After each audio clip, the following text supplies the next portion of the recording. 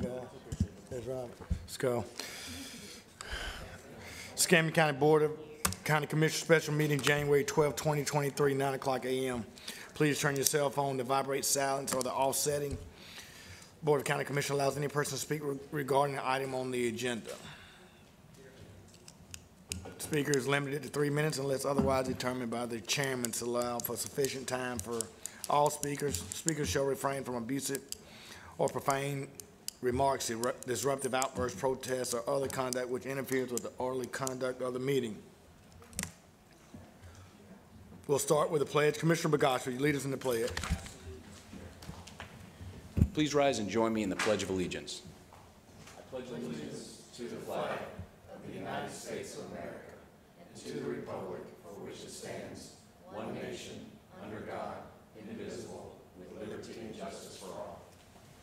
Thank you, Commissioner Bergosh. Was the meeting properly advertised? Mr. Chairman, this meeting was advertised on January 5th, 2023 in the Escambia Sun Press and the board's weekly meeting schedule. Thank you. Uh, Are are there any items to be added to the agenda? No, sir. None for me? None for me. No. Sir. No, sir. No. Thank you. Uh, We do not have it on the agenda, but uh, if you guys need a a commissioner's form, not shaking head no? No, You're good, all right, great. Mr. Chairman, can, can we have a motion to adopt the agenda? I'm so sorry. Thank you, sir. Thank you so much. We have a motion. Second, please vote. I apologize. And it doesn't look like everyone's logged in yet. Can we so just could wave, hand can you just vote? raise our hand, guys? Thanks. right. That passes five in favor. Thanks. Mr. Yes. Chairman, I would like to recognize uh, the firefighter that passed away uh, this week, um, and uh, Lieutenant Jackson. Um, uh, So, of course, our thoughts and prayers with him and his family as they go through this time. Appreciate all of his service, not only to the county, but also our country. Uh, And thank you, sir. Mr. Chairman, I actually had him on my uh, comment list as well as uh, Chief Warner Freeman. As many of you know, we honored him about 32 days ago. He was the last living Pearl Harbor survivor in our county, maybe in our state. He died the same day as Lieutenant Jackson. Um, They're very much alike. They both started their careers as enlisted sailors out of high school. One stayed in the Navy and did 30 years. The other one got out and served us in our county. And they both have remarkable stories, although they didn't have the same years and days. They had the same story in a relative way, and I'm glad that um, they were among us and served for us. Thank you, Commissioner. Thank you, Commissioner. And certainly our condolences and prayers go out to that, to that family. Uh, I did need, do some correction, uh, on last meeting when we talked about the, um, bringing back of the Martin Luther King Jr. um, commemorative, uh, events, uh, because of COVID. Uh, all the events have been postponed for the last two years. But we're excited, uh, that the commemoration will be Sunday at two o'clock at the Zion Hope Primitive Baptist Church, on Leonard Street. Um, Living the Dream will be at Brownsville at 5:30 uh, this, on Saturday, um, January 14th. And uh, on Monday, uh, the parade at 11 o'clock, uh, right downtown here on Palafox Street uh, will be. So we're very thankful to the entire um, MLK commemorative um, committee uh, for bringing all these events uh, back to Pensacola and to Escambia County. Mr. Chairman, before we continue, I guess we're going to do a little commissioners. Yeah, forum. we I guess did. we are. Yeah, So sorry. I would be remiss if I did not thank Vicki Campbell, ECUA uh, District 1 Rep, and Bruce Woody, Executive Director of the ECUA, for joining me on my coffee with the commissioner yesterday. Very interesting topics, a great conversation, so uh, appreciation to those folks for getting up early. And of course, as always, appreciation to Wes Moreno and Eric Gilmore for joining me and giving county updates. Also want to point out, tomorrow um, in the Bellevue community of District 1, we'll be doing a neighborhood cleanup. You can go to myescambia.com and you can see all the details, but if you have tires or uh, other appliances, things of this nature, uh, there's a list of what you can put out and will be picked up. So we did one a couple weeks back in Beulah, very successful in District 1. We're going to do another one. So for anyone who's watching that lives in that area of Bellevue, um, by all means, participate. Thank you, Mr. Chairman. Thank you, Commissioner Bergosh, certainly appreciate it. Did we have any speakers for public forum at all? Uh, we have speakers, but not. public. None for public forum? Mr. May, excuse me, Mr. Chairman May, I tried to sign on, but she said you guys didn't have it on the schedule. We don't have, pu- so there's no public forum? but- She just Okay. said she didn't have the ability to do it, but we could ask. Okay. So technically, are we good with not having to have a public forum, Allison? It- it doesn't ever hurt to have a public forum. You can certainly limit it in time. So what, what's? Okay. Chairman, why don't we ask how many people would like to speak?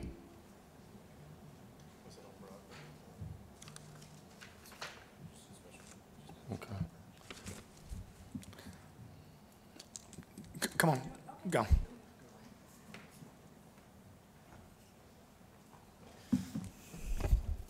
Thank you, sir. Uh, Kevin Wade, 413 Southeast Boblets. Um,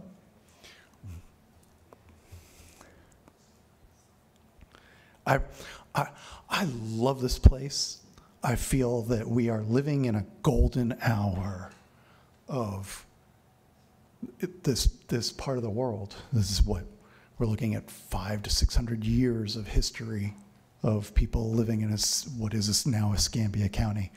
Um, but the golden hour to Matt Sullivan and EMS is something completely different than our dreams. Um, these are the people that protect us. Um, you get struck and have massive internal injuries on the Muskogee Bridge. That golden hour rule means you have one hour to be able to get onto a table to be cared for. Or you don't get any more hours. Um, the dreams that I see playing out of the Three Mile Bridge, of broadband in this county, this area, are, are so many of you are just doing so much to knock it out of the park. Allison, thank you. Our commissioner, it's watching legal go ahead and knock it out of the park with a letter. Oh, these people who are there in our time of need, these angels, um, they're people too. And what they do to protect us, uh, they need protection. And the, I would say, witch hunt that happened to our EMS um, and the debacle. And, and I actually thanked our former administrator for keeping you all in the loop, but that was tongue in cheek. I was beaten for that because no one caught that I was tongue in cheek. Um,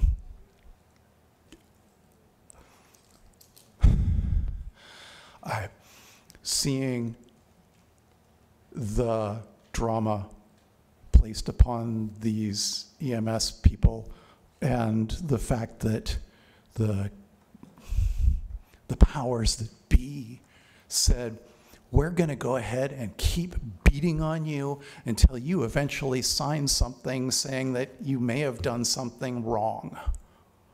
Or we're just going to have an administrative judgment against you, not saying something wrong. We can't prove anything, but we're going to go after you legally until you have no, no breath. And Kevin, um, could you wrap it up? You all of about you. 10 seconds. Thank you. Thank you. Thank you, Chairman May. Uh, Lispina 413 Southeast Boblets. I I understand what Kevin's saying about a golden hour. There's a lot of fantastic things happening, and we'll be thanking you guys for the broadband issue next.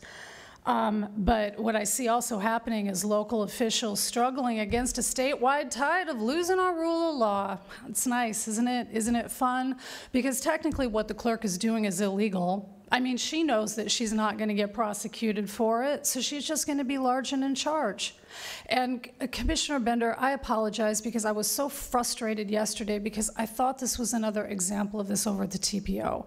After we got up at 4 a.m. to prepare for that and drive over, I realized this morning that the way that I filled that form out was confusing to you. I was trying to save paper. I should have filled out four. So my apologies on that. Um, it's times like this, like I said on Commissioner Bergosh's blog, I wish that my mind worked so that I believed that there's a checks and balance, bad and good column that determines whether you go upstairs or downstairs when you die.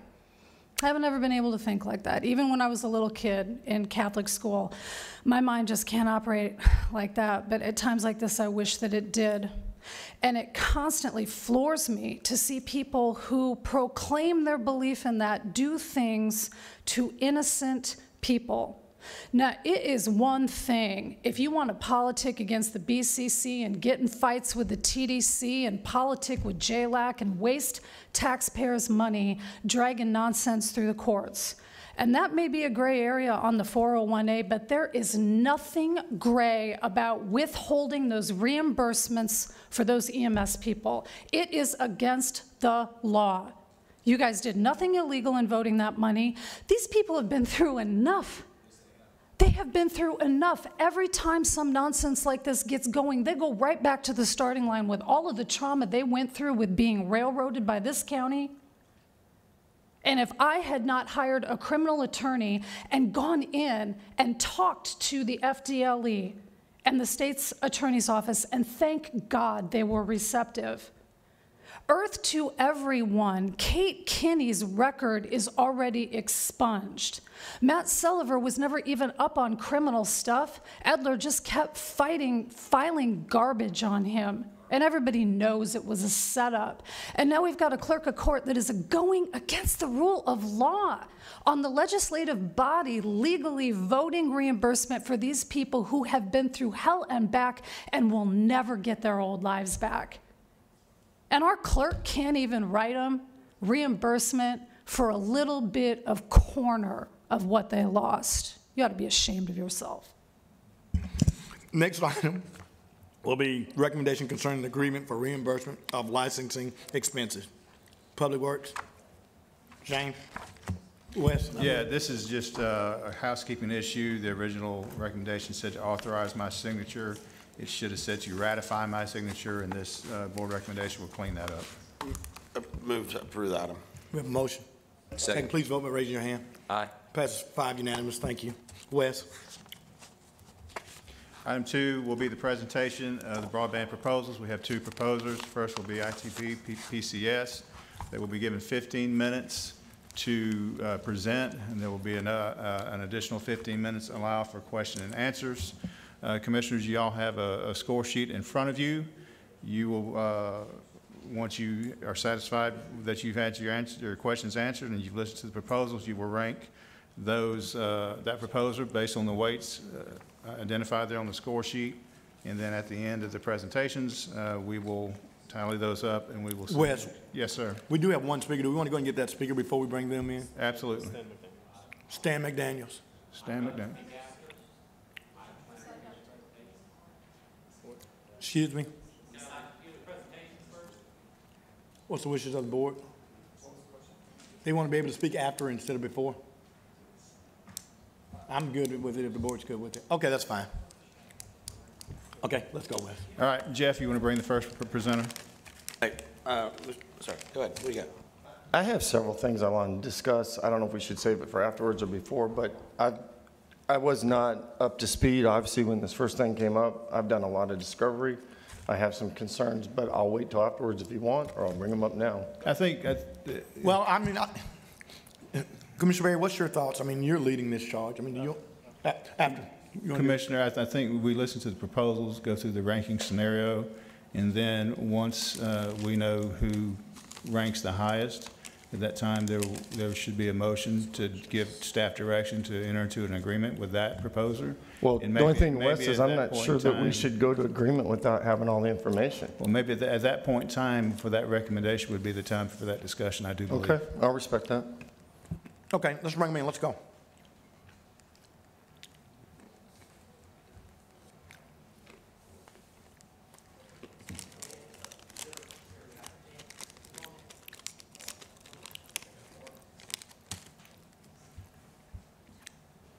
Whoever will be doing the speaking, and then your team can sit here. Who- You guys can sit all, all sit here, and whoever will be speaking, do you need to set anything up? You all set this up and then Okay. we'll also Yeah, y'all need to-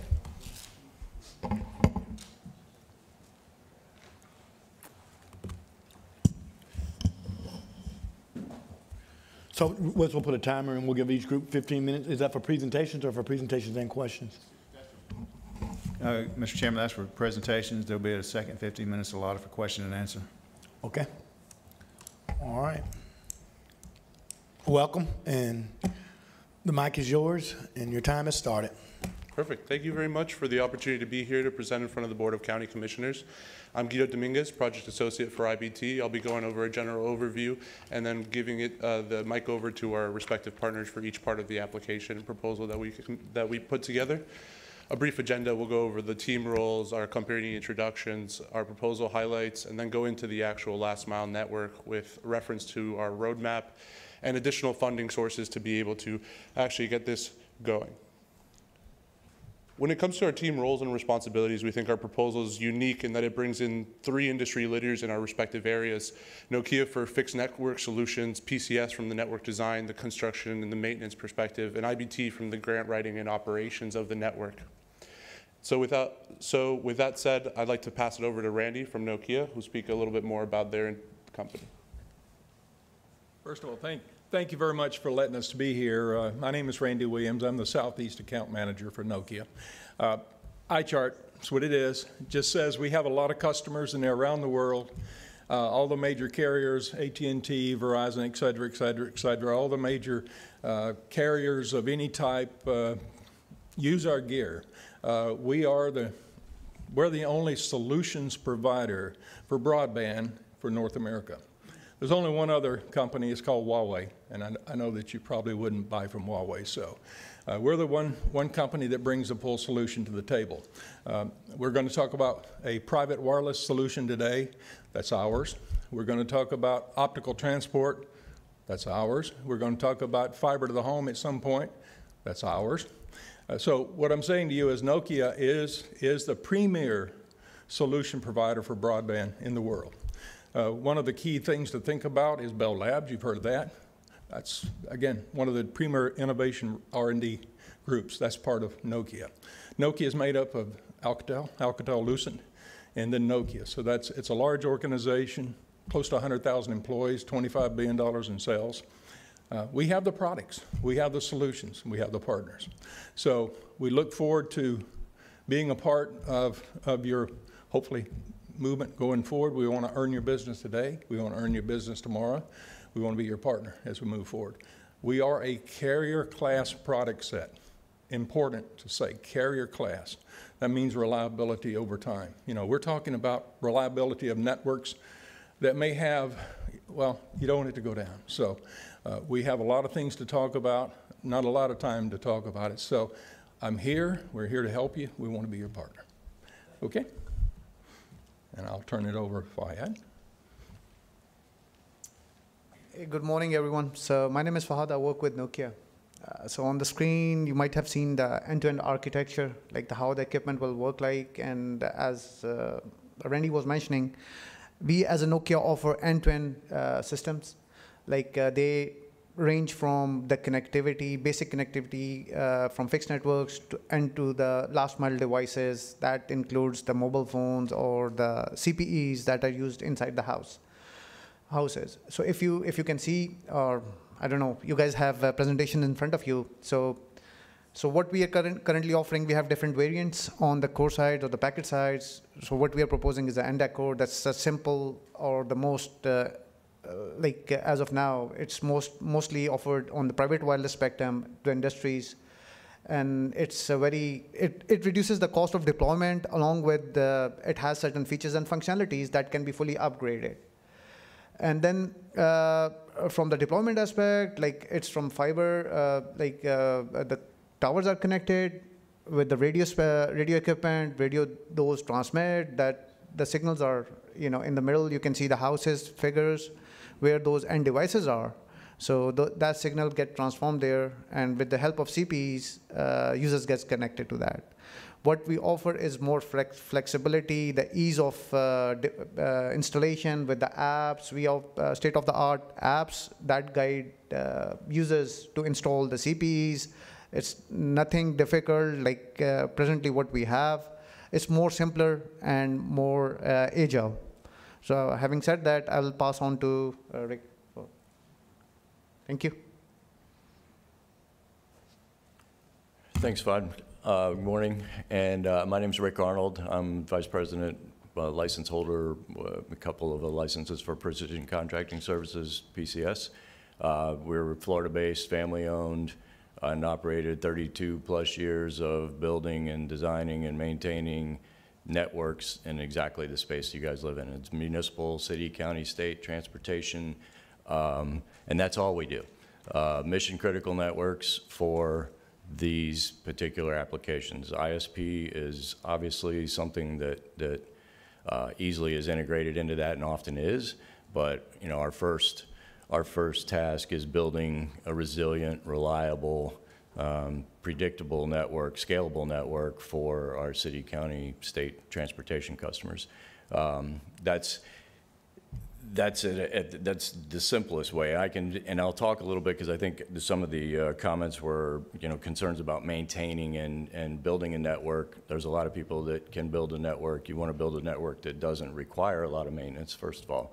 But we are also internationally recognized for our capabilities in exactly that, mapping, asset tracking, and documentation. Um, That's a a PCS product, it's called FiberTrack. Um, And we do that for uh, many city, county, state customers um, across the southeast.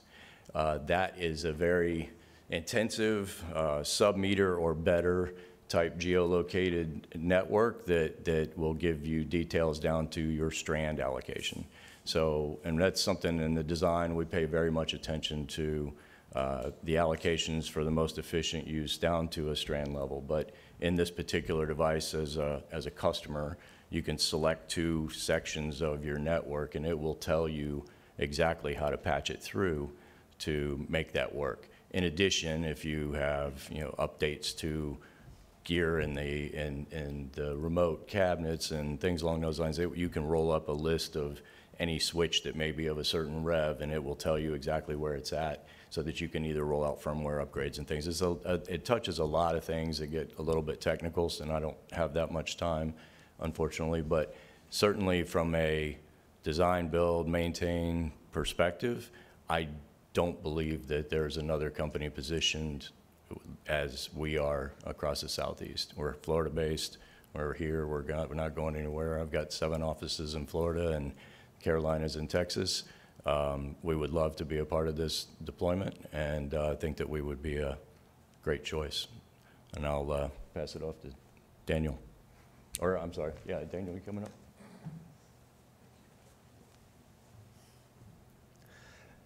Uh, no, it's not me. These are some examples of. Yeah, I didn't Okay. Well, thank you very much. My name is Daniel Toledano. I am with IBT, and we are a leader in implementation of fiber optics and structured cabling for voice and telecommunications, including broadband. Um, we come from the business-to-business world, where you know the there's a true requirement for 27, uh, 24/7 network and customer service uh, availability, um, which means that you know our mission is to please the client. We want to make sure that the client has the best experience, that they're always online, uh, and you know nothing more than a critical facility like a hospital needs that. We are serving more than 4,000 customers. We've been in business for more than 10 years, and we do all types of stuff, from fiber to the home to business internet, uh, voice over IP, and we do it in many different places. We do it in residential buildings, we do it in multifamily buildings, we do it in logistical centers, renewable energy facilities. And what does that mean? that we are able you know, to bring connectivity to underserved or completely not served communities and provide them best-in-class service. Uh, with that, I'll, I'll give it on to, um, to my colleague Guido. So with all that said, we can go over a little bit about the main points of the proposal highlights. So The estimation for the proposal is around $30 million for this first phase um, to be able to build out the network with the full 103-mile backbone, 104-mile backbone, um, while connecting the 40 county sites, dedicating the four tubes to the county, as well as being able to connect nine tower locations from where we'll start the first phase of the private 5G wireless. And the reason we narrowly tailored the scope of our proposal, starting with the fixed wire, with the private 5G, is because we understood the funding constraints that the county is facing right now, right? Only having $10 million to allocate for a backbone that is about 109 miles is a limitation.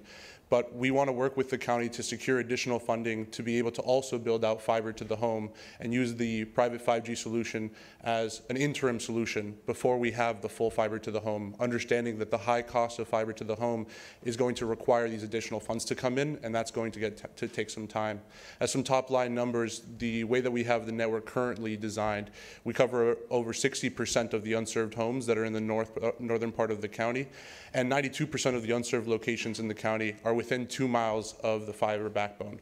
What does this mean? It means that these, the fiber backbone is perfectly situated for us to apply for additional funds and actually be able to do the last mile drops using those additional funds, which I'll discuss. And as I said, we're committed to dedicating the four tubes to the county, as well as net neutrality, open access, strong labor standards, and local hiring. A few more things in terms of the way that we see the deployment. We see that private 5G solution as a way to start and get the ball rolling. But ultimately, we do want to commit to the full fiber to the home package and be able to serve in these unserved locations. Why do we think we're uniquely situated to be able to do that? Well, IBT itself is very experienced with regards to the grant application process and actually operating these grants when it comes to federal and state level programs, including USDA Reconnect and working with the Department of Economic Opportunity and additional funding that we will talk about, uh, that I'll be talking about in a few slides. When it comes to the actual household numbers, this, this network will serve over 2,000 households and businesses with, uh, in the northern part of the county with over 1,500 unserved households. Again, that's more than 60% of the current unserved need in the county. With regards to the five, private 5G solution, our pricing will start at $35 per month, but with ACP and Lifeline discounts, that becomes essentially free for those that are within 200% of the federal poverty line. And when it comes to fiber to the home, we'll start our pricing at $50 per month for 100 megabits per second symmetrical service and build that fiber to the home network out as we secure the additional funding. Our phasing when it comes to this, to this program, we're looking at it in about a 24-month cycle. The first six months spent on doing the permitting, the final high-level design for this network, and actually being able to secure these additional funds. That six-month timeline, in the next six months, we'll see multiple different funds opening, such as the Broadband Opportunity Program Round 2, where there's going to be $122 million just for the state of Florida alone. We'll see the Broadband Infrastructure Program under the Capital Projects Fund, where we see that there's $247 million that will be awarded over the next four years. But the end of this year is critical, and the reason for that is because we're going to see BEAD funding coming into the state, where there's $1.5 billion that's exclusively for the state of Florida, an estimated 1.5 billion, to be able to do these networks. And what's very critical is that the ARPA funds that the county have have been authorized to be used as matching funds for the 25% match requirement for this BEAD funding. So the county is uniquely situated to be able to be thinking about this not as a one-time thing where you start building out the network with only the $10 million you have, but looking for a partner to be able to build more than just what you have with $10 million, to build out a full fiber to the home network that's able to bring internet access into the unserved, underserved areas of the county, and then expand into other areas as well. With the additional time that we have left, a few more details. When it comes to the broadband infrastructure program, which should be the first uh, program that's going to be opening up this year under the DEO, the funding there for the 247 million is over that four-year time frame. So there'll be 60 million dollars allocated every single year with these application processes. Just so you know, we as IBT have already applied for USDA Reconnect rounds three and four, very experienced at the federal level, as well as with the, D the uh, Department of Economic Opportunity Broadband Opportunity Program that had just closed recently recently in December, working with two different counties on those applications. So we have the experience and we're looking for a partner with the county because when you do submit these applications as a partnership, the additional points make it that much more critical and more likely that you're actually going to be approved. So our plan isn't just to build this out and take the county money today, it's to build out a network that's going to last, to grow, and to work with the county. With that said, thank you very much. And we're open for questions. Mr. Chairman, I do have a question. Yes, go ahead, Commissioner. All right, you hit, you know, you, you hit um, the majority of the high points as far as how many households, you know, how much fiber you're actually going to be running during this phase. Um, And it was, it was referred to a couple of times, but I presume that the assumption is the, with the $10 million allocation, that's the request from the county. So the request from the county is the $10 million allocation. The total project cost is that $30 million. We're going to work with the county to, to secure the additional funding as well. Thank you, Mr. Chairman. I see Commissioner May walked away. Any other questions? Mike? I- Yeah, I have a couple questions. So the first thing is, I need to know your metrics because you put 2,000 households and businesses. Where did you get that number from? That's using the FCC's broadband serviceable locations map. So that's the new data that's come out from November 18th. So And that it would- has address level data. Sorry. Oh, No, go ahead. So that would mean, according to what I understand, there's 10,600 households north of Muscogee. So you're saying over 20, per- close to 20% of the people don't have internet out there? What they have is internet service that's below the 25.3 requirement to be considered served. And the reason for that is because when it comes to the, the federal guidelines for certain of these programs, um, they don't consider unlicensed fixed wireless as served locations. They don't consider speeds below 25.3 as served. And so we're using that as the unserved definition, which meets the federal requirements for the ARPA funding that you all are using. Okay. I like the ACP stuff, but the cost for $30 million for that number is about $20,000 per household. Would that be a good return on investment, you think? So the return on investment is the fact that we're building out the fiber backbone first. So the real issue here is that the fiber backbone doesn't exist in this area and needs to be built out. Now, with the fiber backbone, we're trying to be able to actually connect counties to the 40 county sites as well and give the dedicated fibers to the county. And that's the whole, that's the purpose of being able to partner with the county to do this, right? Because the ARPA funds are supposed to be used for a last mile network or to be able to bring service, but at the same time, we want to bring a service to the county.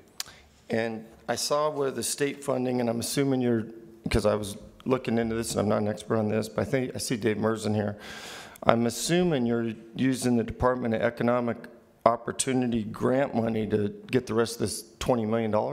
Yeah, the goal is to be able to use the Department of Economic Opportunities, multiple different grant programs, as well as federal programs through the national. Ha- Have you applied for that money yet? We've been applying for that money in other areas of the state, but we want, we need to partner with the county to be able to make sure that our applications are going to be accepted. Why? The DEO is looking for county buy-in. And so when the county actually buys in, we we have a great connection with not only Katie Smith within the Department of Economic Opportunity, but we've actually helped write the way that the regulations and rules are being created for these opportunity programs. And the number one thing is county buy-in. So in order to be able to apply in these areas, we want to make sure that we have the support of the county and are working closely together. Okay, thank you. Mr. Chairman? um, Yes, sir, go ahead. I just want to clarify, for clarification for the way we're going to do this. So we're going to ask questions of this gentleman, and then the next team's going to present, and we're going to ask questions. But I also want to know that I have the, the ability to ask questions, pull one off the bench. For instance, if I hear something in the next presentation, I want to be able to pull these guys up and ask them. Is that, is that Ab- acceptable? Um, Commissioner Barry?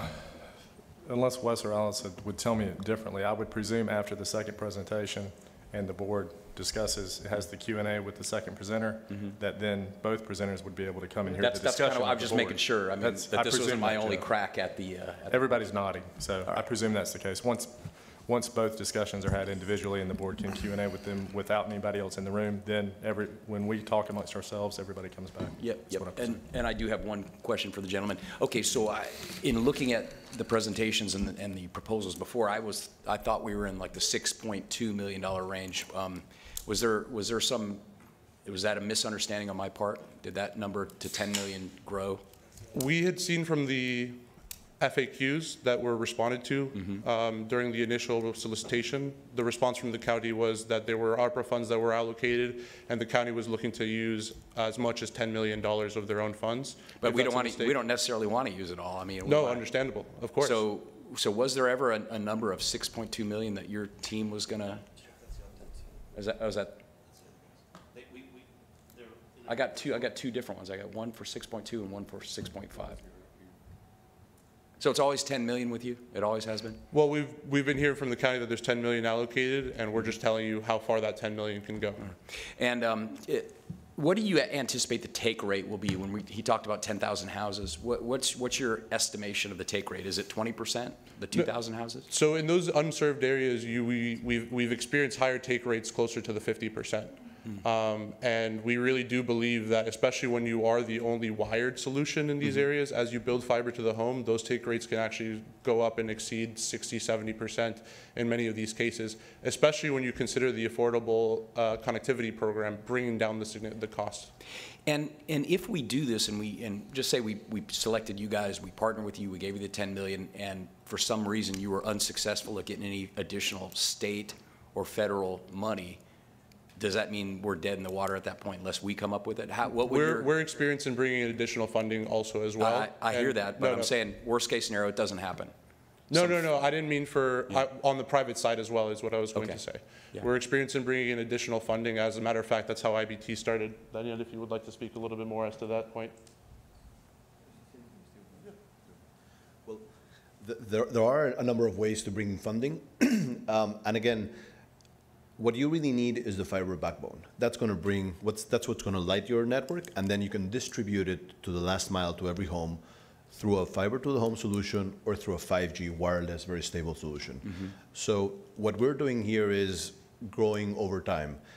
The solution we're presenting today is a solution that can yield results in 24 months. Uh, of course, if you want to do fiber to every home from day one, we're looking at a you know five to 10 year program, maybe you know somewhere in between, and that will require many a, a, a high multiple uh, in terms of, of, of amounts required. So if there's less funding, uh, we can apply for more funding. If we're not successful, like you were asking, um, what would happen is, you know, we would have to, you know, sort of design the network in a way so where the backbone is, you know, more limited. But whatever we do is something that we can build on. Whatever we do is something we can continue growing on. Uh, and again, all of the infrastructure funds, but you can see on the on the last on the on the very Mhm. last line, you know, the BEAD funds, those are not going to be made available until you know the end of, of next year. So we are extremely optimistic that you know with the amount of private investment and you know federal investment that's going to flow, um, you know partnering with you know with with you know with you essentially would allow us to access the funds. So so funding you know we're seeing a once in a generational opportunity to connect every home. No, I agree with that. So once you, um, once we complete this, whoever gets the deal, are you, is your team prepared to also um, bid on the southern phase, the phase that covers the rest of the county? We, we would love the opportunity to do so, of course. And, and, and by the way, we, you know, we would al- always have economies of scale. uh, Yeah, and we would absolutely. always have, yeah. Let me ask you this. um, I'm not an expert in this field at all, far from it. Um, I, you know, but I know that there's other technology out there, and I spoke to a gentleman who's very, very adept at this yesterday, and um, I asked him about the Starlink. Starlink is about a thousand bucks per home, a hundred bucks a month, between a hundred and two hundred a month. Doesn't get you the speed that you guys could give, but for two thousand houses, we could do it for three point six million. And that's a Starlink to every single person that wants to take it. Um, So why would I, why, I, and and I'm just playing devil's advocate here. I'm not trying to hit you over the head, but we're spending, a- we're about to spend a hell of a lot of money. Yeah. And it's good stuff. I'm, I've been supportive all the way through and I continue to be, but what would you say to someone who says, why not just deploy Starlink and save, you know, $7 million? So, so I'll start by the very basic. At the end of the day, you know, a, a regular citizen doesn't need to be an expert. They just want their internet to work all the Absolutely. time, really fast. So I would start by that. Mm-hmm. And then you, it's, it's all a relationship between investment and stability. So there's nothing like a wired connection. If you want to do a fiber to the home solution, it's going to be by far the most expensive because it means that you need to dig a directional bore to every house in the county. And some houses may be very remote, and connecting some of the houses, I, I, I think Mr. Kohler was asking if 20,000 per home was a reasonable investment. There are places in, in, in Alaska that we're seeing that costs several hundred thousands of dollars to get them connected.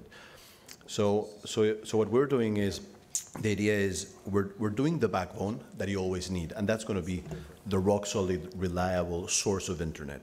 And from there, how do you distribute? This is very similar to electricity, right? You have the high voltage line, and from then you do the, the last mile distribution. That, la- that last mile distribution can be done in two ways. Can be done with a physical fiber optics wire, or it can, can be done with the latest and greatest Nokia 5G wireless connection. The Okay, let me you- stop you right there, Yeah. because this is the last question I have for you, because it's all about speed, right? Yeah. You got DSL where it's terrible, and then you got broadband. Yeah. So tell me about the speed difference between um, uh, the the wireless solution that you're talking about, and then the actual last mile, last mile buried fiber to the house. What's the difference? So last mile buried fiber to the house can go up to two gigabits, and with further improvements and further network upgrades, Mm-hmm. you know, it's essentially unlimited at some point going forward. Today, it's one to two gigabits One to two for gigabits. most commercially available solutions. Your wireless solution would be? The, the wireless solution that we have, the base would be 150 over 50, um, but it can it continues to grow significantly. We're So now it's significantly less than what? it's a, but but it's plenty for 99% of the users. Now we have now, this is now we have 5G. I'm, I'm, I'm getting very technical, but there's 5G over 3.5 gigahertz. But there is a new uh, spectrum opening up at the FCC. It's already actually opened up, the six gigahertz.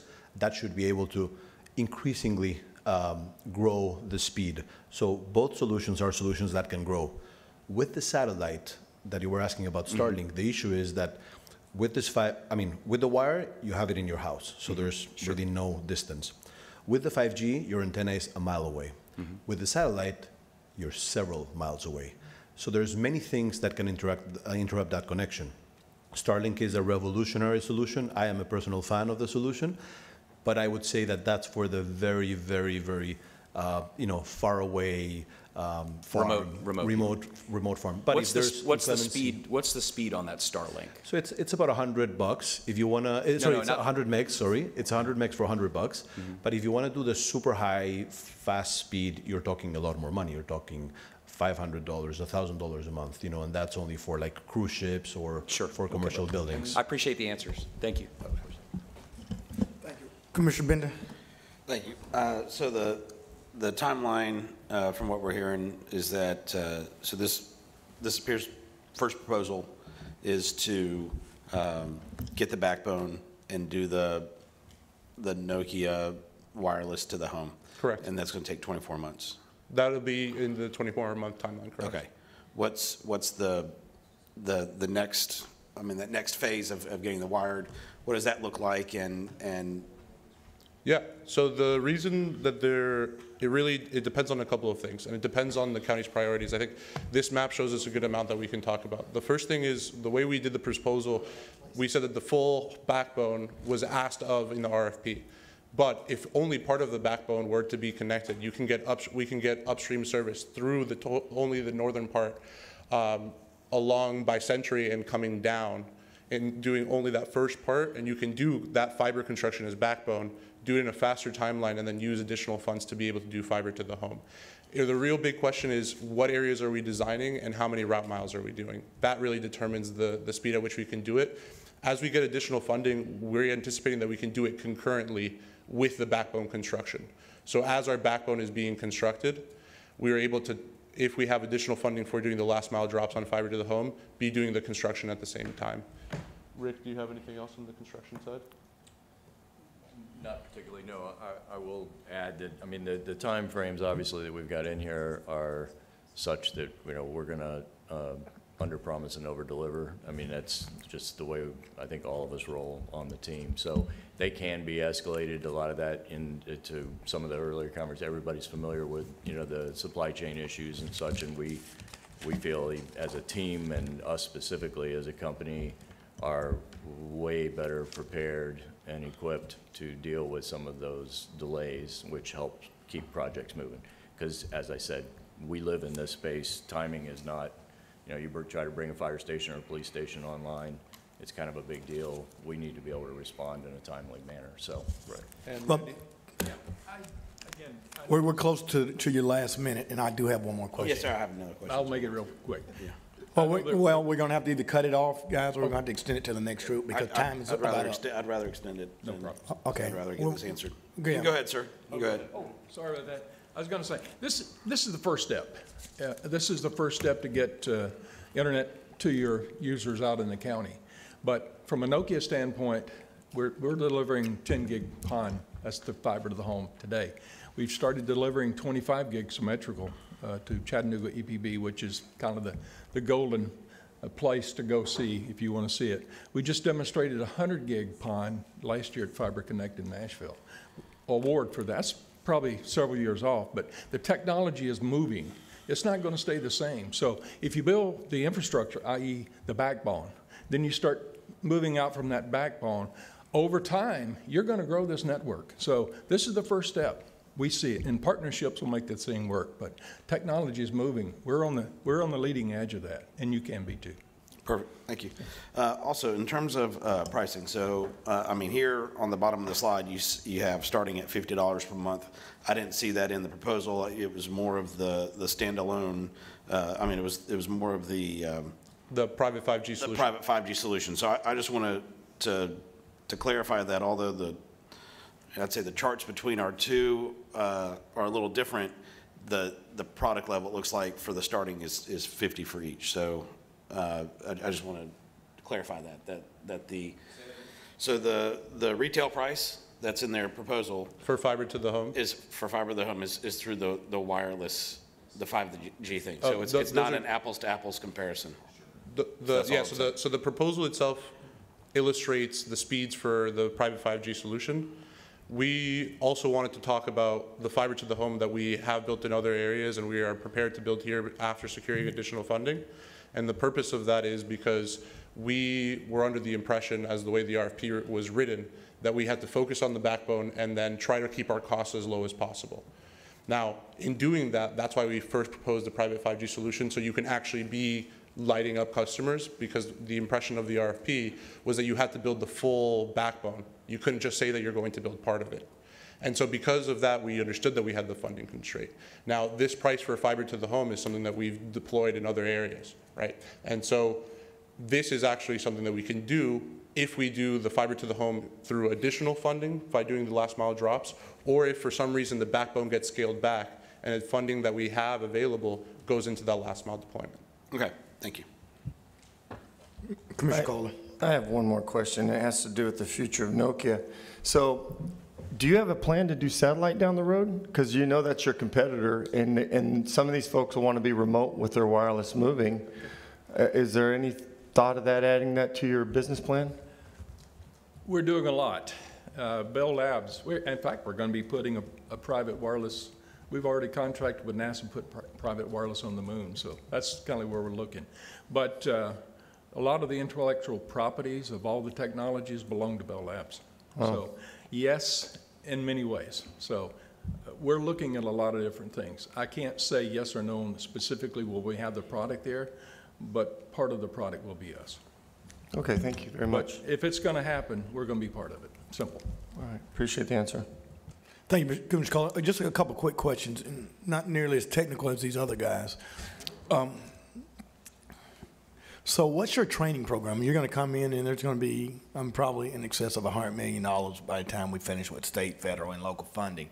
So I- I guess a couple questions. Uh, You know, do you have a training program? How do you hire? What's your commitment to local inclusion and diversity with small and minority contractors? Do y'all have any plans or any programs that you have implemented for that? That's a, a daily uh, task for us as a company across the southeast. So for, for PCS, and, and I believe everybody else is going to be relatively close. We're probably the smallest of Nokia and IBT, but our training uh, policies and procedures are, are pretty rigid. They're, they're very much directed with our manufacturer partners. Uh, We carry certifications from the, we have people that sit on the committees that, that write the standards for what gets deployed. Um, The manufacturers recognize us for what we do, and they devote the time to come physically train. We have train-the-trainer programs within our, our company.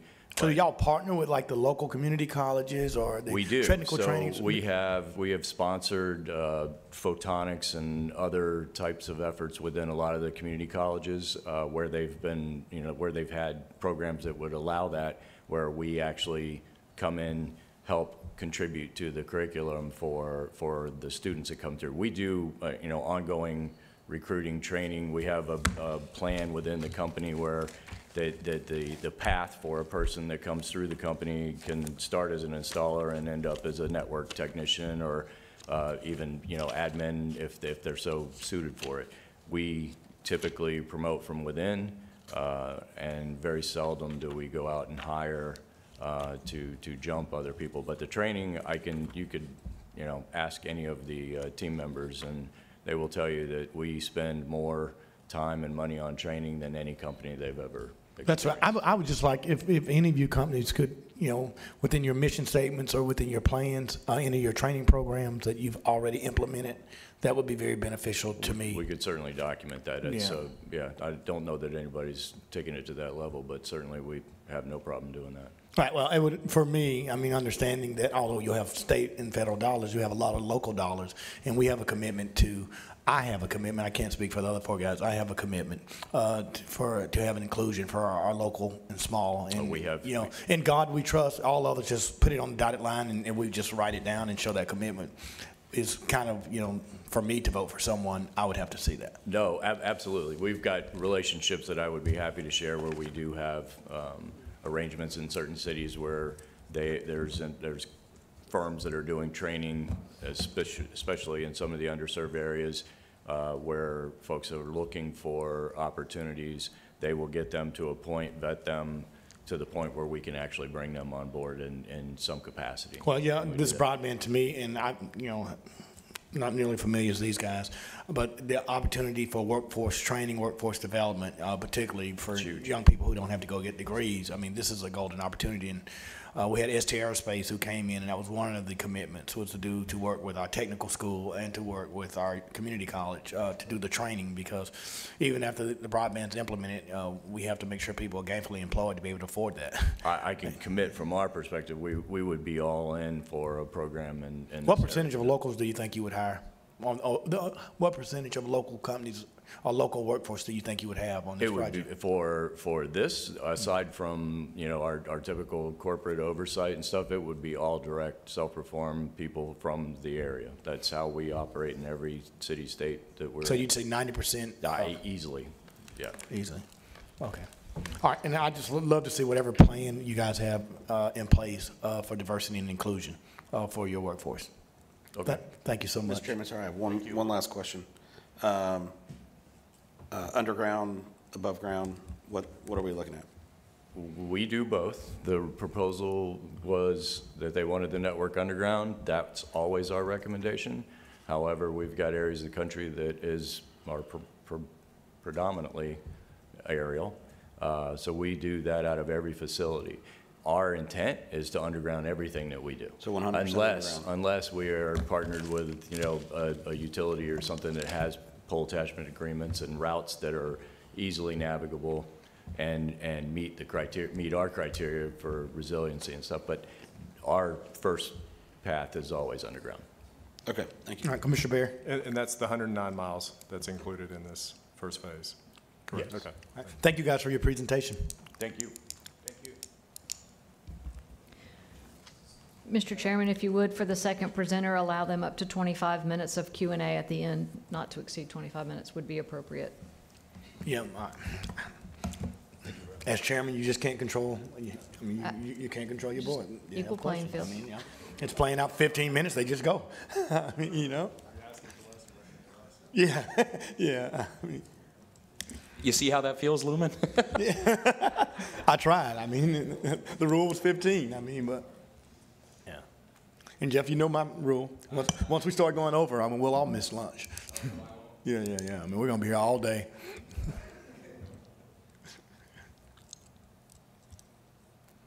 so while we're waiting on them, I, I guess you know, Commissioner Barry, and I know this has kind of been, you know, you've been the lead on this. We'll listen to this group, and then we'll listen to our, our um, speakers, and then we'll have some debate and try to have a, decision. Yeah. so- I mean, I just don't want to drag it out all day. I mean, well, you know. No, I I don't think that's the case. Um, um, I would think we would hear, you know, hear whatever their presentation is or whatever they're, you know, speaking to the board. The board could Q and A with them for a little while, then hear from, you know, hear, f- then at that point in time, have everybody come out and then have our public speaker, and then I would like the floor for a couple minutes after that, and then All right. hopefully go from Be happy to give it to you. The floor is yours, sir. Thank you very much. Good morning. My name is Ryan Campbell. I am the CEO of Escambia River Electric Cooperative. Thank you for the opportunity to speak with you this morning. I would like to start off with a little information about our cooperative and why I feel we are perfectly positioned to help bring broadband to Escambia County residents. We are a nonprofit electric utility that came about in the late 1930s because it was too expensive to bring electricity to rural areas.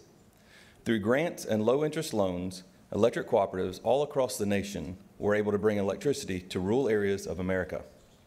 Does this sound familiar? It's the same problem we're discussing this morning, just with a different service. Prior to the Escambia County request for proposal, EREC sent out an RFP of our own. Our intention was to incentivize communication companies to provide this much-needed service to all of the EREC service area while we continue to concentrate on what we do best, provide reliable and affordable electricity. While we did receive one proposal wanting to take advantage of the $1 pole attachments and negotiated make-ready costs, which were identified as the two most common barriers for bringing broadband internet into rural areas, it was evident their interest was to only serve the most densely populated areas, while rural areas would continue to be unserved. If that were allowed to happen, it would make it financially impossible for any company to come in later to serve the most rural areas. For this reason, it was imperative that 100% of our members were served. In order to ensure all EREC members would have access to the service, we chose to move forward with Connects Conexon Connect as a provider partner. EREC will own and maintain the fiber network, while Connects Conexon Connect will provide the internet services to 100% of our membership in Escambia County. Because EREC will own the physical fiber wires on the pole, we are able to guarantee that all members in Escambia County will have high-speed, reliable broadband internet available to them. Together, we plan to provide multi-gigabit, reliable, and affordable fiber-to-the-home broadband to 100% of our Escambia County membership. This network will have the capability to provide 10 gigabit symmetrical broadband to every home and business, as well as the 28 county facilities that reside in our service area. As you are aware, in an electric cooperative business model, the electrical infrastructure is owned by our members. Why am I emphasizing this point? EREC is proposing a similar structure for our fiber network. The network will be owned by our membership, making it a community-owned asset. Awarding funding to EREC is as close as you can get to putting tax dollars back in the pockets of Escambia County residents. We feel this is a unique and compelling differentiator of our proposal. Our membership requ- uh, represents the largest population of underserved and unserved broadband locations in the county. An award to EREC assures that families most in need will have access to the fastest and most reliable high-speed broadband in the country. This network deployment will dramatically improve the digital divide that exists in the county today. EREC plans to build approximately 600 miles of fiber network, reaching over 4,000 electric member locations with an estimated cost of $24 million. We are seeking $6.3 million of support from the county. If awarded this funding, we expect to have the network completed to all 4,000 locations by mid-2024, targeting first service availability as early as Q3 of this year. EREC will provide dedicated fibers along the route connecting the 28 facilities in the EREC footprint. Since this fiber is only part of the ring design outlined in the RFP to connect all the county facilities, EREC will work with recipient of Phase 2 to find a common meeting point at the edge of EREC footprint where we can connect our dedicated fiber ring to the Phase 2 recipient's ring. The responsibility of the county during construction is to work in good faith with EREC and our construction contractors to help facilitate the speedy deployment of the fiber network. Expediting permitting and other approvals will be crucial to ensure we meet our cost objectives and will ultimately speed up availability of service to residents. I would like to spend a few minutes discussing the details of our plan. Connects Conexon Connect is an industry-leading expert in fiber deployment, project management, and broadband operations. Connects Conexon Connect, powered by EREC Fiber, will be the internet service provider operating on the EREC fiber network and offering broadband service to Escambia County residents. Conexon is working with over 80 electric cooperatives across rural America to deliver fiber to the home broadband. They exclusively build fiber in rural communities, so they are very familiar with the unique challenges of building in a rural environment. They are also conscious of the need for broadband affordability. Their pricing is some of the most competitive across the country. They offer three tiers of residential service 100 megabit symmetrical, which is same speed up and down, for $49.95 per month, 1 gigabit symmetrical for $79.95 per month, and 2 gigabit symmetrical for $99.95 per month. No contracts, no promotional rates, and no gimmicks. Conexon Connect also participates in the federal Affordable Connectivity Program that provides a $30 monthly subsidy to families that have household income less than two times the poverty line, which amounts to approximately $55,000 per year. The demographics of our membership indicate that a little less than half of our membership will be eligible to take advantage of that program. That subsidy would put the 100 megabit service at $19.95 per month, 1 gig at $49.95, and 2 gig at $69.95. Conexon also offers residential and business phone service, as well as access to DirecTV Stream video packages. We are excited about the opportunity to serve our community and help eliminate the digital divide that exists in Escambia County today. This fiber network will improve the lives of residents, enable work-from-home employment opportunities, provide growth for local businesses, and stimulate economic development. I'm glad to know that no matter which way the board votes today, the most rural citizens of Escambia County will have access to high-speed broadband internet available to them. My hope is that in the future, there will not be any areas in rural America that will have to ask if broadband internet is available prior to purchasing a home or a property. It will be as common and as automatic as electricity and running water. Because of the nature of the cooperative model, rural electric cooperatives all across the nation are making this a reality. We look forward to adding yet another service to our offering in northern Escambia County. Thank you for your willingness to help solve the problem, and thank you for giving me your time this morning to present our solution to you. I'm happy to answer any questions you may have. Thank you. Um, Board?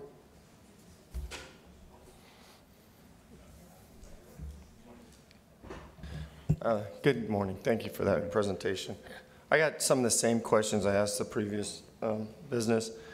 How many actual individual people do you believe are affected by this? Do you believe the last number is 1,500 in, in the, from Muscogee to the Alabama line? They're actually in the underserved right now? Well, the actual number of people is different than the locations that may be served because you have farmers up there that have a barn and they don't want just internet in their house. They want it at their barn too. They want it at their tractors. They want it at that. So locations is different than people. So how, so what, what, give me a number. What do you So think? So we have over 4,000 locations that we're going to service. So you're saying 4,000? And probably, Now, hold on, I have a follow-up on that because Sorry. you say 4,000. How many of those do you believe will actually sign up? There's a difference. You can have it there, but do you have a swag on how many people actually compete and sign up with your, with your broadband? Um, so we haven't sent out a survey, obviously, but we submitted um, probably 30% is what we did in our numbers just for a complete uh, conservative did you say numbers. But we're expecting, in our numbers, we Yeah, use 30%, 30%, but we're expecting closer to 60 or 70, but we wanted to make sure the numbers worked at 30 before we jumped in. Okay. You wanted $6.3 million from the county. Where's the other 18 million going to come from? Is it going to come from this Department of Economic um, uh, Opportunity? Uh, We Money? did apply for state funds, but most of it's going to be low-interest loans through uh, CFC, which is a cooperative that uh, loans out uh, money to electric cooperatives. It's a finance cooperative. Okay. I have a second question. I went to your website last night, loo- looking for this. You, you guys advertise that you do Viasat internet. We do. And at your $100 per month rate, you meet the standards for what the federal requirements are for this ARPA money. Yes, sir. This is a satellite. What would happen with this? Would you still offer this to your customers? We would not. So there are other areas or other um, companies in our area that we would uh, pass it along to. Uh, I don't know if that would be a gift or a sale. I haven't looked into that yet. I didn't want to get the cart before the horse. Uh, But no, if we're going to fiber, there's no reason for us to do both. The reason we offer Viasat is so at least rural people would have something. Right. Because they have nothing right now in some areas. Would it cheaper just to pay you to 4,000 people to have Viasat? Well, the Viasat, have you ever used Viasat? No, but I've had, I've used some of these satellite internets when I was in Guantanamo Bay and in Italy and Japan, and they're pretty good. They're getting better all the time. Um, I don't know what Viasat is, but I know what satellite internet is, and it's gotten substantially better since 2011. It has, yes. So it will put you on the internet, but it is not going to close the digital divide. Okay. Thank you. Thank you. Mike, Jeff? Sure. Yeah, um, Yes, sir. Thanks. First, uh, thank you for being here, putting together this presentation. I love the idea that you're local and that uh, it'd be a employee-owned or a co- cons- uh, constituent-owned um, operation. Um, The total cost again was 6.3? Is that your, that's what you're? looking 24 million was the cost. We're Uh, asking for But from, from the county, from Yes, our, sir, from our, 6.3. okay. And then uh, another thing that I'm very, uh, that I like to hear is you're talking about getting loans to complete some of the deployment. Let me ask you something. If, if none of this federal or state money from DEO came through, would you commit to going that full route uh, and getting loans to, to complete the project? I just want to know what happens if you, if the, if these grants don't come through. And I've asked, I'm going to ask both companies that. Right. So our board has approved that assuming we get this from the county, that we will move forward. So the other, I would say, is icing, and we really prefer to have it, obviously. Absolutely. Uh, Our membership is on the hook for the loans, you know, no matter what it is, because they own us. We're not for profit. We don't have a nest egg of money that we can go dig out of in a bank account to build this. So it will all be loans if we don't uh, uh, get anything else from the state. But our board has voted to move forward with just this uh, award. Okay, and let's talk about the speeds. Your, your model, so far as I understand, is you're going to take the fiber to each individual uh, member of your co-op? Yes, sir. Even regardless of whether or not they take the service?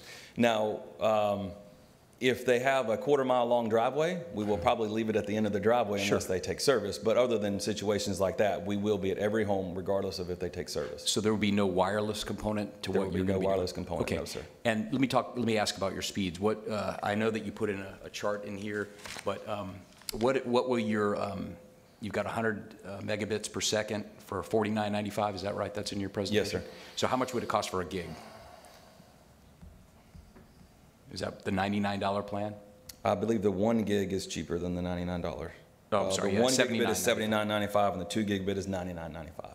And um, you, you're pretty confident you'll be able to offer that speed with the way you've designed this network? Absolutely. Okay.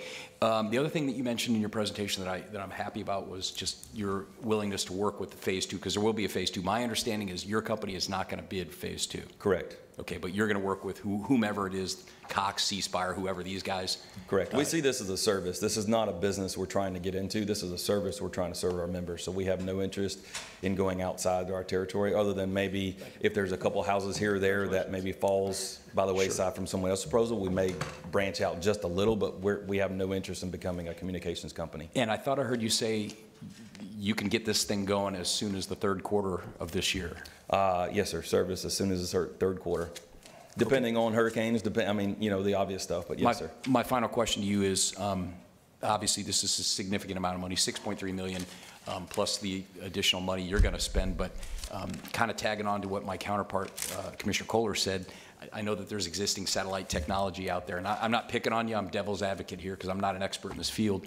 Um, And of course, that technology is improving, and it, even if you take the 6 million or you take the 24 million and divide it by the number of houses, um, it's a significant amount of money, and it could be done a lot cheaper if we popped a satellite at every, when you're looking at the taxpayers, we have to answer the taxpayers, why wouldn't we go that route and save a ton of money? Is it all about the speed? Uh, it's not just about the speed, it's about something called uh, jitter rate, I believe it's called. I'm not an IT guy, I'm an engineer. help me but jitter rate. So the speed at which it goes up and down, not just the speed at once you hit download, it starts downloading. Mm-hmm. So there's no gaming, there's no, uh, there's very little streaming. Oh, Uh, You can stream a little on some of the, uh, I actually have Viasat at my house because that's what I have available to me. I can stream Netflix, I cannot stream any of the others, and I believe that's because of the way that they filter things. I'm not real sure, so I have a hard time at quits and buffers. Um, so it's it's the jitter speed, and, and I may not be completely around that. Like I said, I'm not an IT guy, but the jitter speed is is the problem with satellite internet. There's a reason why people in the city don't have satellite internet or people close. If you have access to broadband, it is a much superior product. Excellent, thank you for your answers. Thank you. Uh, c- Yeah, go ahead. Uh, Just re, go over the timeline again. So in, in two years, we're completely fiber to the home, uh, things like that. We're expecting a year and a half again, barring major hurricanes, you know, weather events, that kind of thing. Yes, sir. Okay. Um, uh, And so the, is the, the backbone underground? It is not. The backbone will be on our poles, which is why we're able to do it at such speeds. Okay. Um, So, I, you know, of course, when, when hurricanes do hit, um, what's the, the plan to make those repairs? Uh, Again, because I mean, it's a significant investment that we're making in, in, in doing it. Um, So who's going to be responsible for, for those? We are going to be responsible for putting it back in the air. They can't use broadband if they don't have electricity anyway, and the electricity's in the air, so we didn't see that as being a roadblock. But, I mean, what about cost for infrastructure? I mean, I, I guess you're already doing the poles again and things like that, but I mean, what about fiber and Um, It will be no different than a normal storm because uh, we are electric cooperative. We're, I may step away from this a little. Oh, okay. Um, Because we're electric cooperative, we are eligible for FEMA funds afterwards, so that will help out a little bit, but it will be up to us and uh, to, to, you know, put them back in the air. It will be up to us to pay for that, yes. And I, I guess part of my concern though would, would be, I mean, that would ultimately be passed on to the consumer though, right? Correct. I will say our goal is to not have any money, now this is a goal, to not have any money out of our electric memberships uh, pockets. So this award today will help us have some to pay off debt service as we go, and literally zero dollars out of theirs because of the lease payment we were able to negotiate with Conexon Connect. So our goal is to not charge more to our electric membership. Our goal is to actually use the money that we have incoming, because we're not-for-profit, to help subsidize the electric side of things. I just ask, a follow-up? Sorry, I was about to. Yeah, cut go ahead. No, go ahead. Thanks. Go, I mean, go. Um, So, y- you know, sorry, after Sally, I was focused on down here. I mean, I'm, you know, south of Nine Mile. Um, What, what type of damage do you guys have, did you have in St- Sally? I mean, it's, um, you know, what type of, um, y- you know, I mean, how, how many times do you have uh, power go out because of uh, fallen limbs and things like that? Um, y- You know, what's your down rate because of, of being above ground? So I believe it's three nines and then eight seven percent, so 90 99.9987% reliable. Um, after Sally, we did have 95% of our membership out of power. We had them back on uh, in less than five days. And uh, we, we have a great network of other electric cooperatives that we bring in help. And part of that help is going to hang this back on the pole and get it restored, and then we will come back later and permanent back on the pole. So we just temporary it up front. Okay, thank you. Mr. Chairman, one follow-up? Yeah, go, right ahead, sir. Sir, um, I, I also, I- I've heard that, um, and I like everything about your presentation, but I- my understanding is that there was some uh, public proclamations made that regardless of whether or not there was any funds, you guys were going to implement this service in the northern portion of Escambia and Santa Rosa County, regardless of any uh, governmental funds. Can you explain um, if, if there's truth to that? Because I have some folks that have told me they heard um, representatives from EREC say that. Um, That is not true. Our That is board- not true. Our board approved this under the assumption that we got this. Okay. And we actually did not sign the contract with Conexon until we awarded this the first time. Uh, And then we were assigned, uh, or we signed that contract with them, and of course, we're we're back Okay. here now. But that's, that's the reason why it was according to getting this. So if, if none of this money was out, none of this ARPA money, none of this broadband rural stuff, you guys didn't have a plan, an RFP on the street to move forward with providing this to your, to your members? That- We had an RFP on the street to help others because, like I said in my speech, um, pole attachment rates. Yes. And make-ready costs, which is changing out a pole to have proper clearances, was the largest uh, obstacle in the way of other companies coming in. So we did put out an RFP that says, hey, we'll work with you on that. We'll charge $1 pole attachments for three years to help get you profitable. So we were trying to bring in other companies because we're a power company. But, it- but there was no guarantee that was going to happen. Did you get any people, uh, you get any takers on that? We did get one, as I mentioned in presentation, but it was, um, can't remember the exact wording, but it was where economically feasible. is So in what other they words, it put wasn't there. going to serve all your members? They were not, and that was a requirement for us to go on the hook with the money. yes. Okay, I appreciate that. I appreciate Thank that you. answer. Thank you. Sorry, I one quick question. Um, The, uh, on the rates, what's, what's the, the commitment on, on maintaining the, that fifty dollars? Uh, We have zero plans, so all that is uh, brought about, Connects Conexon Connect uh, is the one who sets those, and they've got no plans of raising that. Now, obviously, as inflation hits 10 years down the road, it will most likely be higher, as will everything else, but we have no plans of raising that right now. It's not a promotional rate, it's not a gimmick, this is what we charge right now. Okay, so it's not, and just, you know, it looked like the other one was, it was a three years, and then it could go up CPI plus one percent, so. We have no, you know, no so plans of doing any of that. like it could be like five dollars increase in five years. Um, So, okay, thank you. Thank you. Yeah, thank you, Mr. Chairman. So, um, on the, the fiber, the actual build part, so it's almost six hundred miles total? Yes. And, I mean, I know you were talking about the backbone being aerial, but the, pro- the proposal did include like hundred and seventy-five miles that, that is underground? Right, anywhere we have underground power right now, we will go underground with the broadband. Okay, so if you, you know, kind of break it out, it's, you know, 175 maybe that's going to be underground, and then 400, 400 and something that's going to be in the air. Um, And the reason that the county facilities would be in the air is that we don't have underground fiber connecting those already. That's the, Correct. that's the rationale there? Yes, sir. All right, but it still totals just under 600 miles of fiber. And, you know, the, the cooperative nature of it is certainly appealing. I mean, that's, uh, uh, you know, that's something that is made up of, uh, you know, is made up of my constituents. Uh, You know, often, um, you know, often we have things that cross, you know, cross district lines. This is not necessarily, you know, one of those. This is, uh, you know, uh, exclusive to District Five, but the cooperative nature of it is attractive. And, and part of the, also, part of the proposal also outlined that you're going to have a separate LLC to manage the Escambia County project that includes the Escambia County uh, constituency, Escambia County members, and then if and when you move forward in Santa Rosa County, you'll do likewise over there, so that the Escambia County money will be restricted to the LLC that contains the Escambia County residents. Uh, I don't know if we would do two separate ones, but the Escambia County money would be spent before that because, you know, we're getting an award over here and that is the plans right now is to move forward in Escambia County. We're, uh, we haven't announced anything to, for Santa Rosa County. That is an option later, especially if this is received very well and we're very successful with it. Right.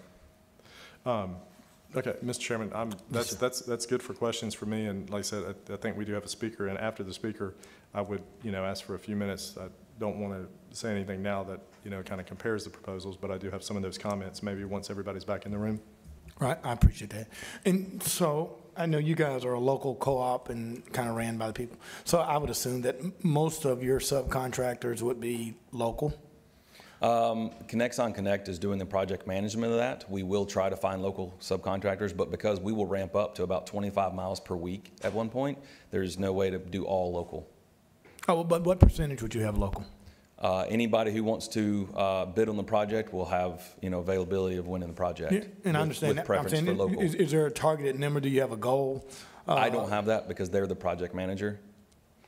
Okay, that would I be. can get that for you. Yeah, that would be, I mean, in all fairness, uh, to the last group and to your group, I mean, you know, the commitment to local and the, the diversity and inclusion to local and to minorities and women, I mean, that would be a part of what I would want to know, uh, before I would vote for a final contract. Okay, I don't Um, have the exact number, but I'm positive that that's going to be given preference because locals are cheaper. You're not having to pay per diem or anything Right. else. So, you know, even on nothing else but just looking at money, Mm. they're going to be cheaper anyway. So I know they will be given a preference. Right. Well, I mean, that would, so I, um, I would just like to get that information and the Okay. commitment. I mean, I would like to know your training program because this is, gonna- you're obviously here. Uh, so I mean, I think that's very important, particularly in the north end, coming out of Century and a, a lot of those, uh, blighted areas or young people could learn the skill set through workforce development. Uh, I mean, so I would like to know that plan. Uh, I Okay. the guys to the right of me talk about all the technical stuff. I'd like to talk about the human services side of it. Understand? We are going to set up, it will be an RFP. So, um, you know, it will depend on how many people apply for RFP and give us a proposal as well. All right, but as long, I mean, and I understand that you only get what you get, but if you don't have goals, you know, no one's gonna live up to the expectations. So, I mean, to me, before we got to find a final contract that I would vote for the allocation of funds, Yes, uh, those issues would have to be addressed and, and included, and so. Yes, sir. I will uh, contact them when I go in the back room and I'll have a number for you. Yeah, I just like to know the goals of, Yes, sir. of what we're doing for small minority businesses and, and what is our inclusion program and, and what type of workforce programs have they done in the past? I mean, what's their history? And Okay. so that would be critical for, for my vote. Yes, sir. I'm sure they have that number. They've worked with 80 other electric cooperatives doing this exact same thing, so I'm sure they have a plan. Okay. I look forward to hearing it. Yes, sir. Thank you. Thank you so much. All right. Uh, I think that ends our presentation. Thank you so much for your time. Thank you very much. Our Matt- first speaker will be Stan McDaniels. Madam Clerk, even though we didn't have an extra seven minutes of questions, he was afforded it if he so needed. Is that good? Okay. No, we didn't, we didn't end him. He ended on his own. Yeah.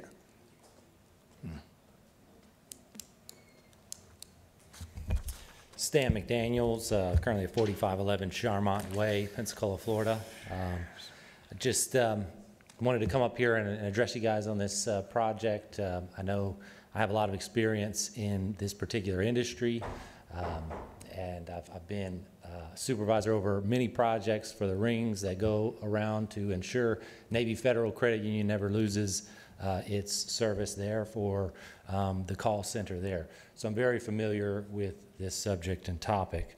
Um, my question is, is why do, does this industry need a subsidy from the government to provide our our county service. If they've already got a contract here to provide service to anyone in this county, why can't we hold their feet to the fire so that they can provide all of our county with service? Uh, these are big budgets, big companies that have been in, in service for a long time, and there's no reason why they can't be on the hook to provide this stuff for our customers. So why can't these private companies make the investment instead of the taxpayers? Thank you. Thank you, Stan. Our next speaker will be Kevin Wade.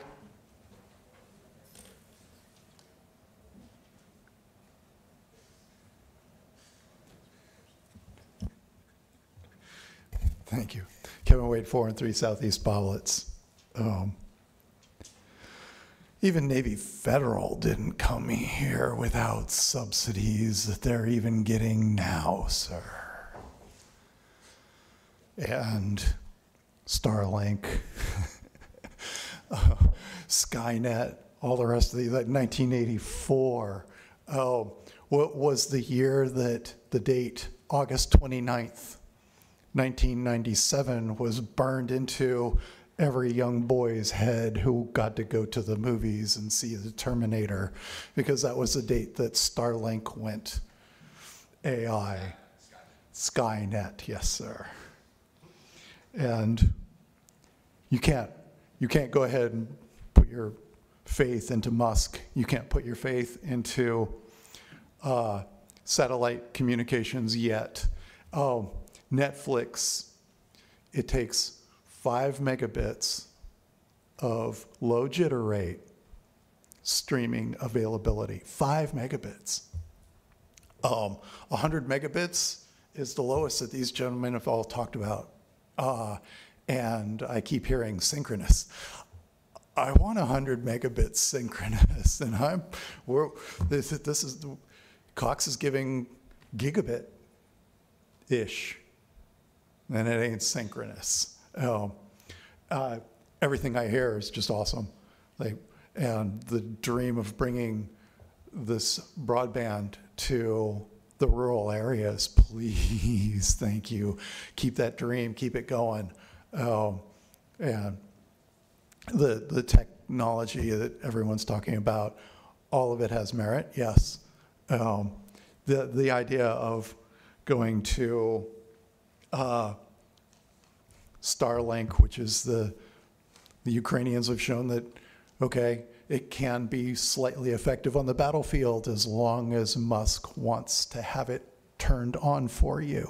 And it has been turned off quite a few times. So um, seriously crippling, um, absolutely crippling. Oh, underground, that's great. Up in the air, that's fine. Oh, please bring this because you know even even even the five 5G solutions. Okay, I I've got several properties that underground from building to building, but we live by Wi-Fi, and the Wi-Fi that we have.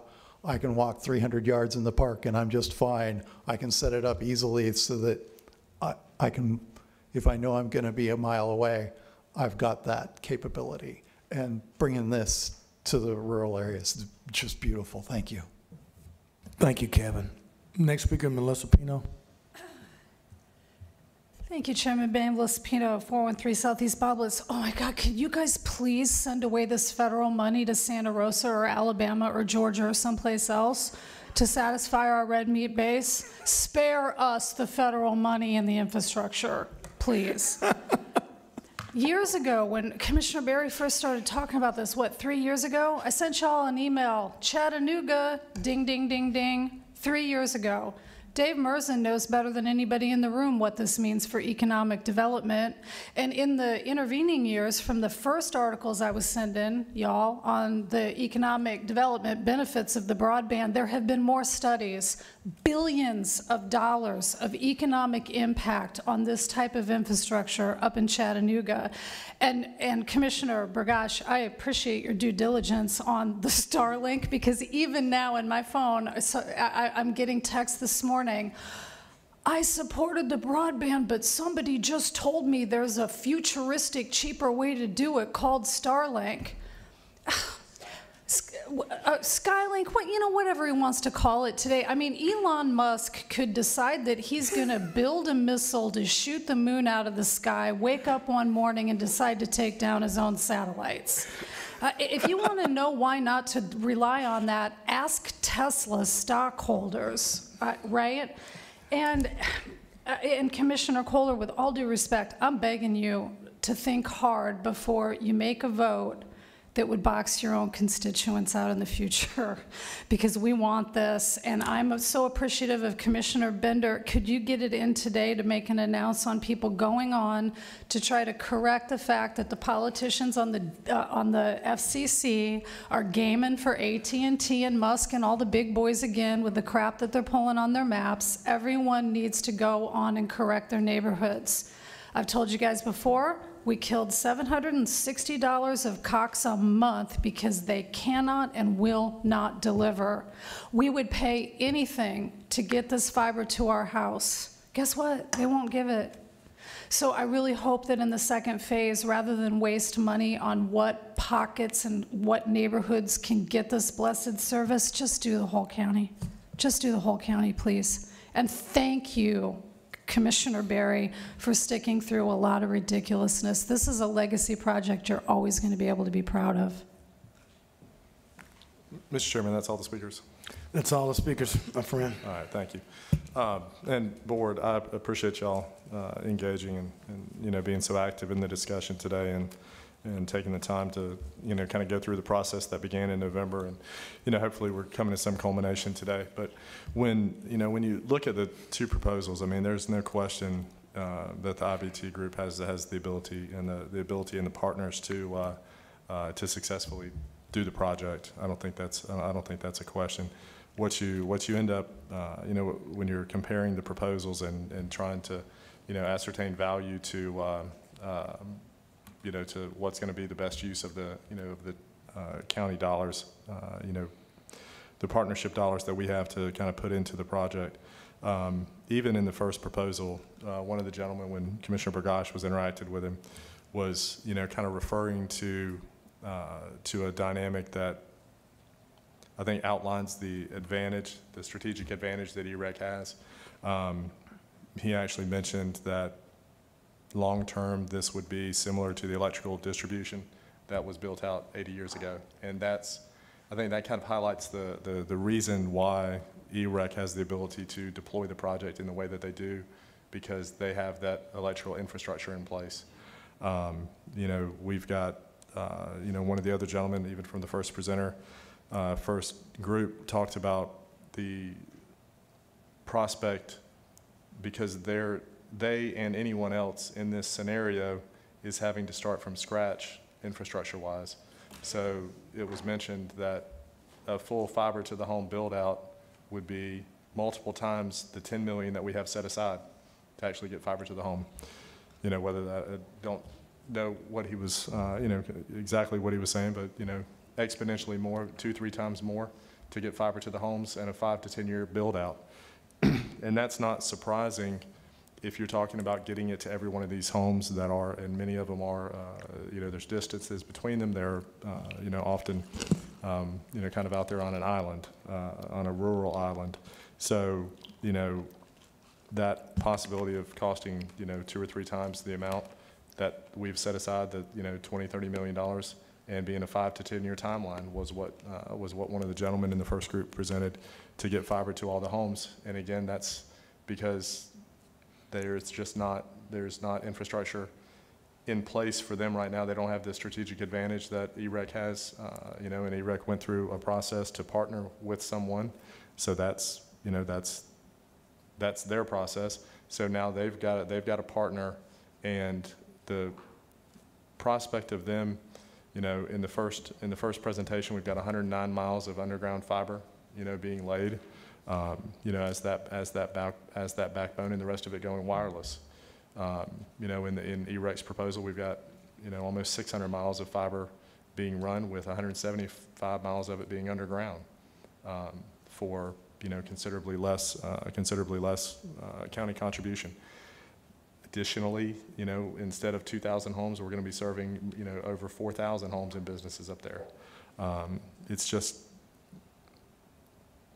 it's a, it's certainly a process that, that we had to go through, and it's the, it's the right way to do things. I want to thank Allison and Wes for, um, you know, for helping me try to, helping me try to navigate, you know, navigate how to get this service, uh, how to get this project deployed for my constituents to get this service availability, but with a, with a motivated effort from a cooperative, a nonprofit cooperative, with a motivated effort from them, which, you know, we clearly have a motivated effort from them. I'm not surprised necessarily that another for-profit company that doesn't have those strategic advantages in place can't match, you know, can't match uh, apples for apples for the, uh, for the benefit for our, uh, for our dollars and the full deployment of the, of the program. Um, Like I said, there, you know, I- and I I appreciate the first group's presentation, and I don't have any, I don't have any question whether they have the ability. uh, I'm, you know, familiar with a couple of those companies. I I know that they have the ability to, uh, to do the work and, uh, and deploy the project, but financially, timeline, and service being delivered, I, I don't think it's, uh, I- think it's very clear that, um, that EREC is the proposal. And what I'm hoping, and I'm, you know, happy to talk as long as you guys would like to, but what I'm hoping at the end of today is that the board is going to support um, authorizing, you know, uh, Allison and Wes to try to get an uh, MOU executed with EREC for, uh, you know, for deploying this project and getting it going as quick as possible. Commissioner Barry, I. Yes, sir. Um, I, I don't think we need to talk. I, I agree with you 100%. I think the, uh, just sitting here and watching the presentation, listening to the answers, um, I've already completed my sheet, so, uh, I, you know, unless you guys have a lot of other questions, um, I would ask, Mr. Chairman, that we complete our score sheets and, and move forward. I'm good with that. I've completed mine as well. Well, if you're making a motion, I mean, I- do we need to complete this? I'd li- I, I have a few more comments before we vote. We please. definitely need to complete the score sheets, and then we can do a motion on the backside of the completion of the score sheets. Okay. Uh, Commissioner Kohler? I want to highlight a few things um, on this process because it, it's concerning. And then I agree with what you said, Chairman Barry, on EREC. But I want to remind everyone, this was called the American Rescue Plan. It was a rescue plan that was to help people immediately to get access because their kids were out of school, um, healthcare facilities, it passed by $1.9 trillion. Not one Republican voted for it in the House, one Democrat didn't vote for it in the House. Not one Republican voted for it in the Senate. I'm very familiar with Christmas in September in the federal government. We love to spend money after it's other people's money. The cost of this is excessive, extremely excessive. And I can share with you, we could easily meet the underserved and the people that need this the same way we do the CRAs. I've been doing math up here the whole time, and we could save millions of dollars and meet the requirement of 25 and 3 that's out there. And use those additional ARPA funds for septic to sewer, for all these other things that we could use them for. The cost is just excessive for me. No one in this room would have done this project if you didn't have federal funds. That's the truth, because it's not economically smart to do it. I think that we should look at that seriously, the cost, and if we really want to help the people with broadband, we can buy it, we can give it to them for millions of dollars cheaper.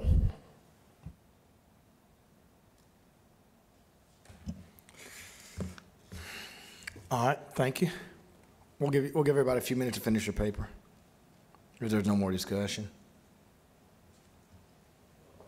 I mean, I've already completed mine. I know everyone else isn't, this really isn't on the topic, but, but Mike, to your point, I, I do agree with you in some respects about the federal spending, and um, it's a terrible system, and uh, we're, we're printing money up there like crazy. We wonder why eggs are $8 a dozen. Um, We wonder why inflation's going through the roof. It's because at the federal level, there is no restraint to the spending.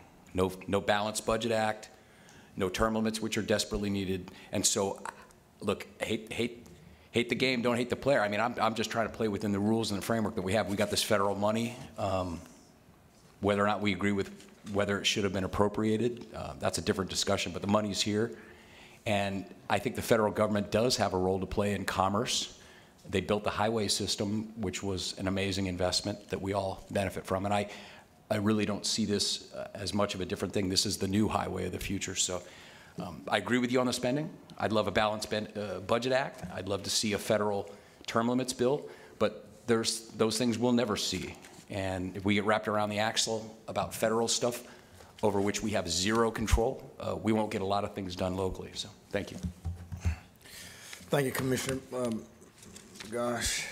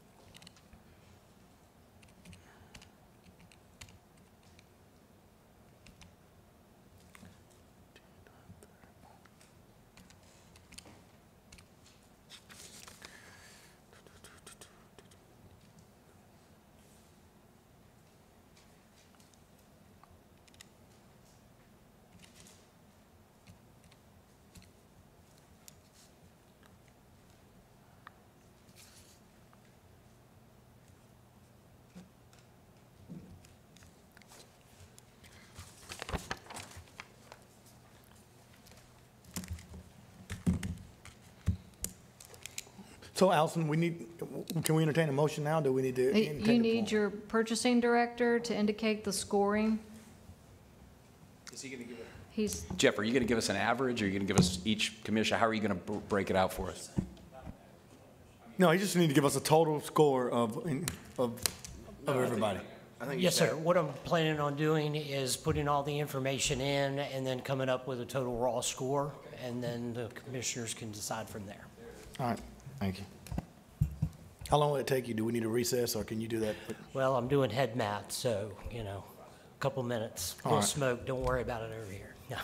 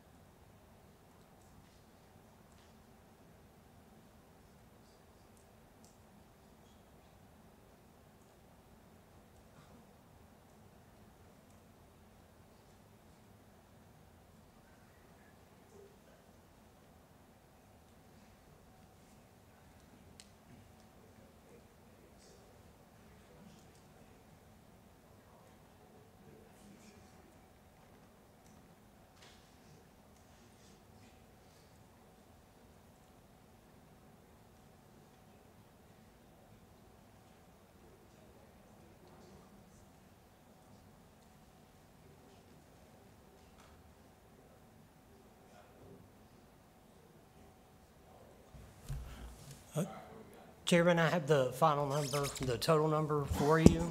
Uh, For IBT PCS, we had a total score, again, there were 100 total points per voter uh, in the five commissioners, so that would be a maximum score of 500 points. Uh, IBT PCS has scored 462 points uh, for the whole group. And Conexon, by comparison, scored 484 points from the commissioners.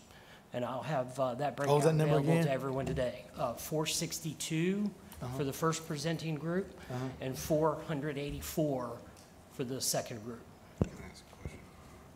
Okay, Chair entertain a motion at this Can I time. ask a question, though?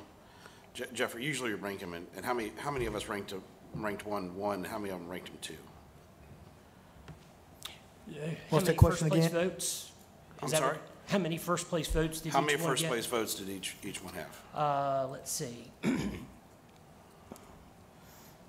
mean, because if it's total score, then someone could give 'em s- another, one of them a zero on something and totally Oh. swing Yeah. it. So, well, how many first-place scores did, did each one have?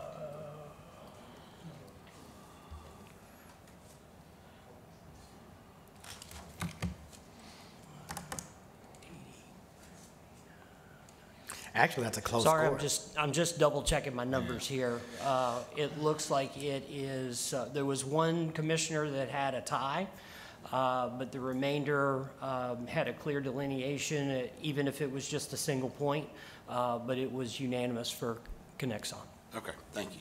Yeah, that's actually a pretty close score, Robert. It's a 20-point differential. I mean, out of Yeah. 500 points, you're only looking at 20 points. No, I, I know that, but I'm just saying if, if it was based on total points, then someone could, I mean, you could, one commissioner could swing it as opposed to showing that four of them had, it had this Yeah, one as. theoretically, yeah, Right. but I mean, with a 20-point difference, I, I would assume that that didn't happen. Robert, just to put clear, I didn't want to be that guy, so I voted the same. No. Well, with that, will- the chair will entertain a motion. Thank you, Mr. Chairman. And, and I, I think, you know, the, the high score for even the first, you know, even the first presenter is indicative of the fact that they have the capacity to do the project. It's just, um, in this scenario, I, I think it would have been, I think it would have been extremely difficult for any, any for-profit company to come in that doesn't have infrastructure to compete, you know, effectively. Uh, Mr. Chairman, I would move that the board, uh, that the board authorize Wes and Allison to, uh, to negotiate an MOU with uh, the Conexon Connect slash uh, Escambia River Electric Co-op uh, joint venture. I'll second the motion. Is a motion second, and Commissioner Barry, I mean, and not as an amen- amendment, but at, at least as, as a point of clarification, uh, as we go into that contract, there was some information that I asked of both presenters, and, uh, they both said they would get that information back, and I expressed, uh, that I couldn't support it unless we got that back by contract. I'll go along to vote for the vote, but I would hope that that information would be brought back. Put some of the, well, put, maybe, maybe have some of those, have some of those indicators, some of those thresholds, some of those goals and objectives uh, included in the MOU. Commissioner, that's what, that's what I was kind of presuming. You're, before you vote to approve the MOU, you want to see some of that language in there about the, yeah. Yeah, And I, and, and I'm certainly comfortable with that, and, and I'm sure, Al- I mean, Allison and Wes are listening, so there you go. Okay. Yeah, I, I think the winner raised his hand, so that's all I would expect. I want to thank um, the group for coming down, thank all the presenters. Uh, We appreciate your time. We know it takes time, effort, and resources to ever come do a presentation. So, so with that, we'll take the vote. All in favor? That's four in favor, all opposed? We Have one, for the record, Commissioner Kohler opposes. But That being said, uh, the motion wins four to one. We stand adjourned.